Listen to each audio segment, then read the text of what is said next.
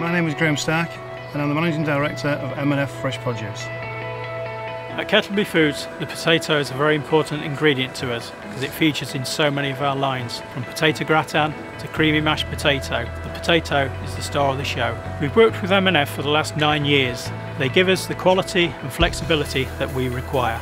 Nine years ago, there was only eight people working at M&F. Now there is 150, and that is because we've worked very closely with Samworth Brothers and Kettleby and the other sites at Samworth to develop our business.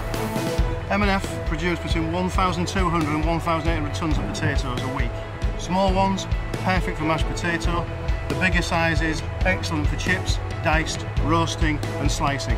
At Kettleby Foods we use between 250 and 400 tonnes of potatoes per week. In this job you become a bit of a potato expert, so it's a good job. I'm a big potato fan. Behind me here is our new lines. These are the most efficient potato processing lines in the UK.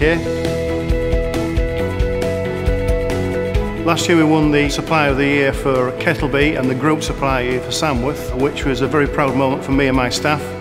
So, what potatoes do you like? Creamy mash with King Edwards. How about you?